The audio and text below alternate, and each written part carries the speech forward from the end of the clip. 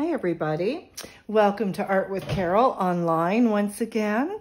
And uh, today I have a project that would be a really great project, I think, for um, kindergarten and the younger grades, as well as up through to the older grades. So what I've made is I went out and found myself some leaves and I dried them because they were quite wet. And after they were dry, then I used my leaves for impressions. Um, also, this is called resist technique. So I'm using watercolors and um, I'm using wax. If you have a white crayon, that would be perfect.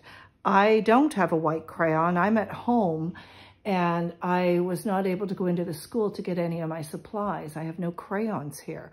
You could do this whole project with crayons or you could stick with watercolors if you have watercolors at home.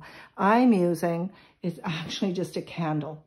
And I tried it out to see if it would work. I thought that it probably would. And sure enough, it works. So you could use a white candle or you can use a white crayon. It's your choice. The What we're going to do is, so I'm going to hold this up so you can see it nice and close. You can see my, my leaves. So we need a white crayon or a candle. We need some leaves. Just go ahead and go into your yard, get any kind of leaves that maybe the more um, intact, the more whole they are, the better. And I've got myself four leaves here and I've dried them. And actually they're starting to curl because they're drying so much. So I'm going to try to keep them pressed out. So what you're going to do is take your take your leaf. You need also, sorry, you need a white piece of, I am just using um, printer paper, just normal school eight and a half by 11 paper. And I want to find the rough edge where I can really feel the veins of the leaf.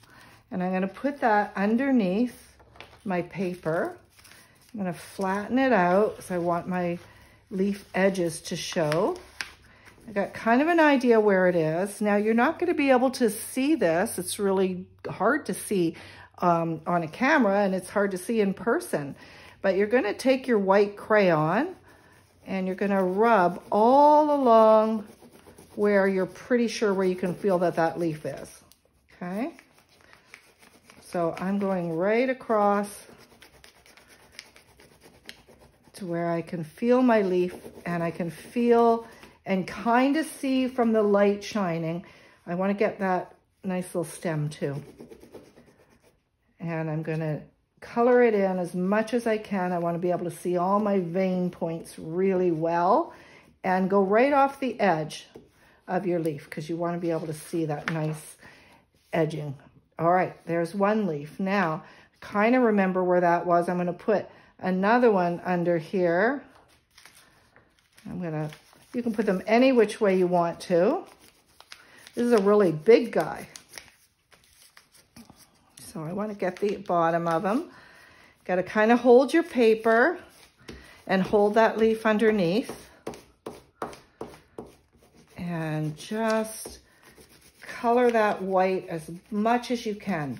This is called resist because the water paint will just roll right off of the wax of your crayon or of your candle.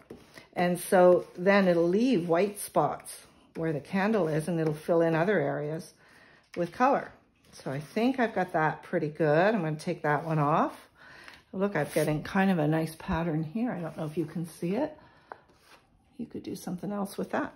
All right, let's see. I have another leaf. This is a really tiny, oh, I think I'll use this fat one here. And you, this one I'll put this way. Your leaves can go any way you want them to, and they can overlap on each other. Now I've got one going this way. So I'm just gonna color it in. Go over it as much as you can.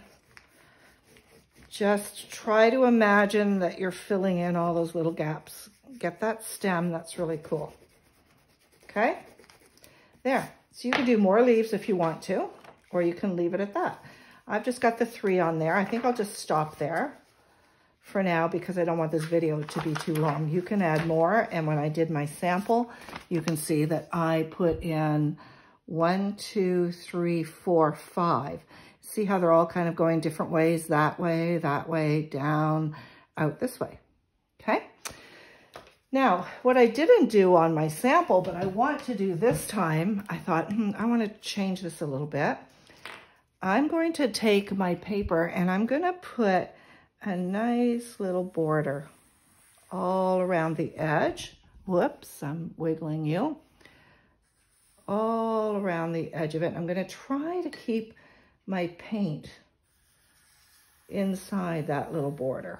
And if I don't, it's not a big deal, but I just think this might look kind of fun to do that. So if you have a marker or a pencil and you want to do that, you can do any color. You don't have to do black. Now, if you're using crayons to color this in, just take your crayon and just color over it all with all different colors. If you're using watercolors, you want to get your brush wet and then pick a color. Oh, excuse me, before we do that, I want to try, I'm just going to run water with my brush all over the paper. And you don't want to be scrubbing on the paper. I'm really holding my brush really lightly. Okay. There. So now I've got it pretty wet and you can see the water starting to bead on it.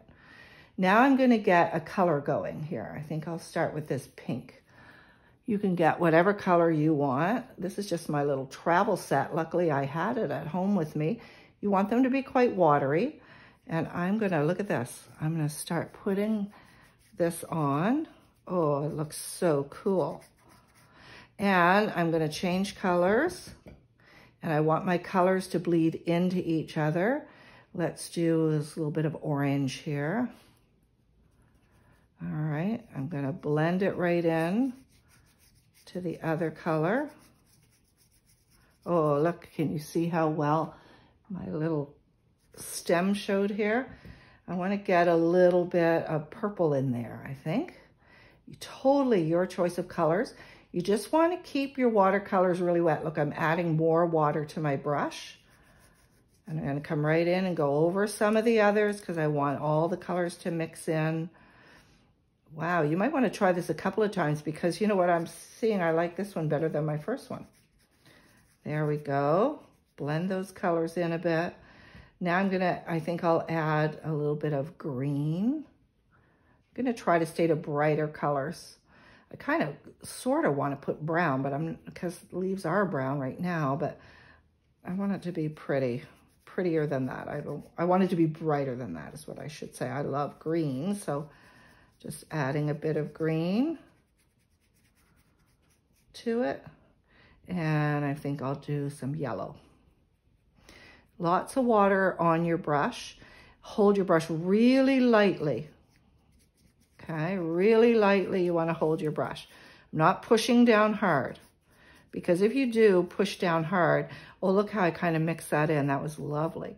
If you push too hard with your brush, if you press down on your paper, you might put a hole right through your paper. So I'm coming all the way around. I'm going to do a nice little yellow border, yellow background, I should say. I'm to try leave the border white, but I'm not too worried if I get some color on it. It just gives it a nice definition. Oh, see, that's really bright, but I want to have a bit more water. There. You can make several of these, try them different ways, try different size um, leaves, even some, oh, some juniper leaves might be nice all different kinds, whatever you can find outside. I just got them off the ground.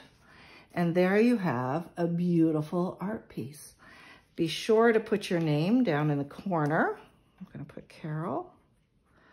And when yours is finished, you can get someone to take a picture of it for you and send it in to me or to your teacher, just email it. And I'm going to put them up on the Facebook page and the parent page and um, we get to enjoy what everybody has been doing. So stay safe and keep on painting and I will see you next time.